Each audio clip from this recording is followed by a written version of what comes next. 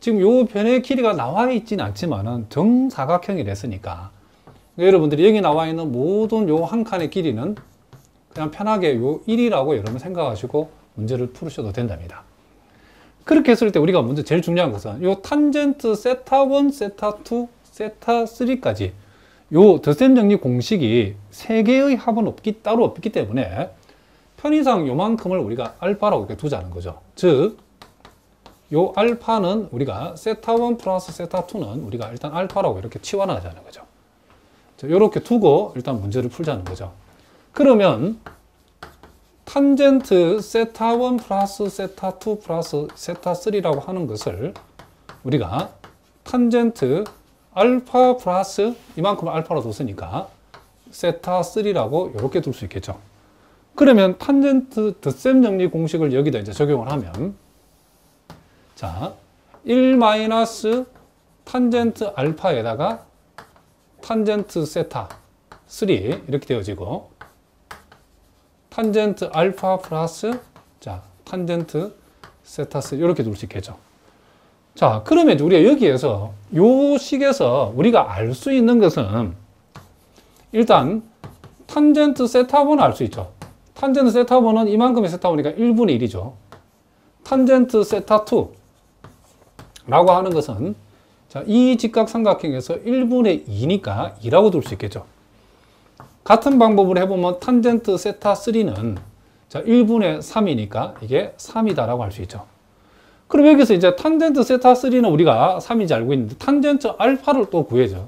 알파가 지금 세타 1 플러스 세타 2이기 때문에 자, 여기서 별도로 또 우리가 탄젠트 알파가 탄젠트 세타 1 플러스 세타 2이기 때문에 자, 여기다가 우리가 또 탄젠트 덧셈 정리 공식을 적용하면 1 마이너스 자, 탄젠트 세타 1 곱하기 탄젠트 세타 2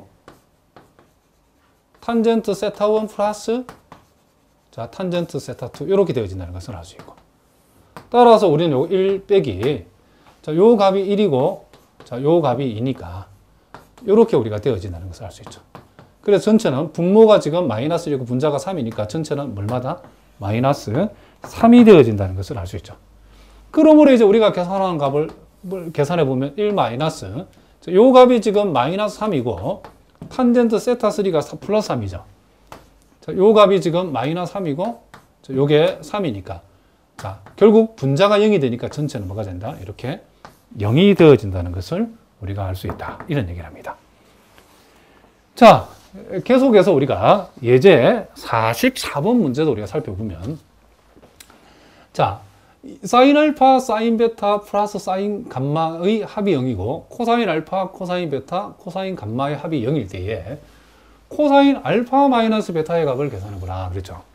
일단 이 문제도 우리가 어, 여기서 뭐가 필요한지를 우리가 먼저 덧셈 정리 공식을 적용해서 먼저 확인해 봅시다. 코사인 알파 마이너스 베타는 코사인 알파 코사인 베타의 곱에서 자 마이너스는 부호는 플러스가 되겠죠. 사인 알파 곱하기 사인 베타.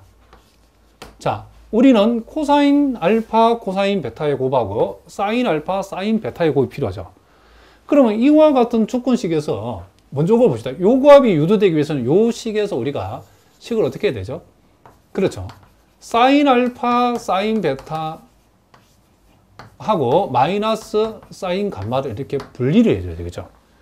이렇게 분리하고 나서 양변을 우리가 어떻게 한다? 이렇게 제곱을 하게 되면 요 좌변에서 요게 생기죠. 그죠? 전개를 했을 때에. 전개 한번 해볼까요?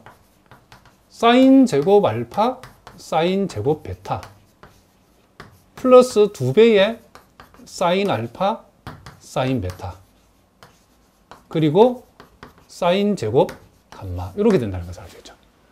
우리는 편의상 요 식을 우리가 기역이라 한번 해보겠습니다. 그 다음에 요거는 어디서 생기냐면 우리가 요 식을 가져와서 코사인 알파 자 코사인 베타는 마이너스 코사인 감마라고 이렇게 두고 요놈 역시도 양변을 이렇게 제곱을 한번 해보겠다는 거죠. 그렇게 하게 되면 요걸 전개하는 과정에서 코사인 제곱 알파, 코사인 제곱 베타 플러스 2배의 코사인 알파, 코사인 베타. 그러니까 요 부분이 여기에 생긴다는 것을 알 수 있죠. 그리고